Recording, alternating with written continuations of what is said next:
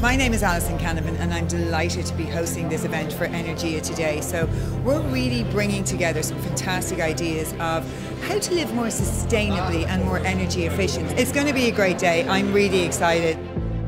Now I'm going to be looking at interior design and specifically what's going to be happening in the next year or two.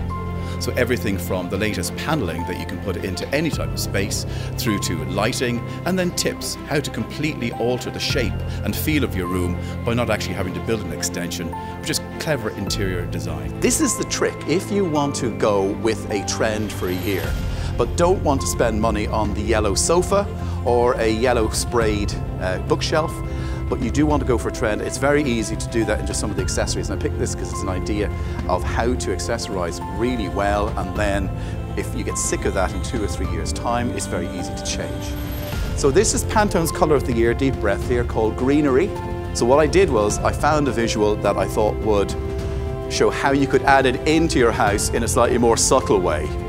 I'm Cormac Mannion, I'm the Energy Services Manager in Energia and today I'm going to be talking about smart homes and the development of smart homes over the last number of years and how they're going to shape our future in years to come. So for example, the thermostat will link up with your weather station and it'll look at how cold it is outside and it'll tell your thermostat to turn on the boiler if it's a colder morning than normal. So typically you might have your boiler set for 8 o'clock in the morning to turn on. It's nice and warm when you get up.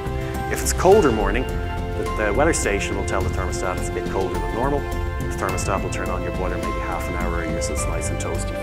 What a camera might do is a camera might see if there's anyone in the house and it'll turn the boiler off if there isn't anyone there. It'll tell the boiler to turn off. My name is Karen O'Donoghue and I am the community manager with GIY. It's about growing some of your own food, developing food empathy and reconnecting with your food. You start to have a better awareness of it, a deeper understanding and a better appreciation. Suddenly we start to think about other decisions that we're making and we become more conscious con consumers. Recycling more, composting more, making sure that we choose green energy makes more sense and so little by slowly we're part of the solution and it's all going to be okay. Uh, you know, today was a great day. We came with three kids because we moved house last week. So the list is endless. We have hundreds of things to do. So it's great to hear Neville talk about the new trends in interiors. My husband got some tips on smart heating and all the gadgets. And then the herbs, it's great to see how to grow it yourself. And we're going to try do some down the side of our house eventually when we get there. But it's great, great day.